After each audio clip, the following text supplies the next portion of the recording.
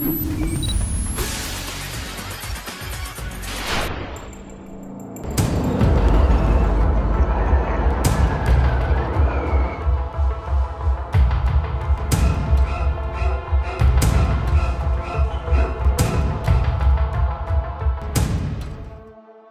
Izalco, Sonsonate, encendieron la llama de una tradición centenaria. Que lo hará recordar la película Coco.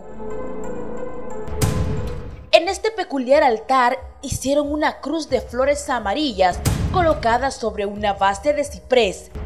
Así le rinden tributo a los que ya partieron y que en vida fueron grandes personajes como Don Tito Ramón, enseñó a muchos jóvenes y ahora también adultos a tocar el pito y el tambor. En esta ceremonia, el fuego fue un elemento primordial. Que es para traer también a las almas, a los difuntos al altar y para retirar también como las malas energías. Además, colocan al centro cuatro candelas grandes que representan los puntos cardinales.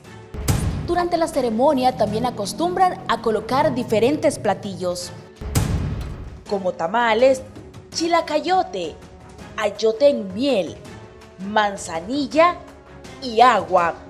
Diferentes antojitos que en vida le abrieron el apetito a Don Tito.